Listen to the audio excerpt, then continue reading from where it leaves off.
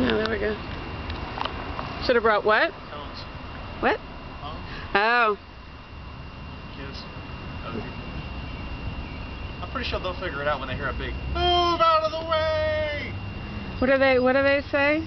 Huh? Timber. Timber, yeah. Duh.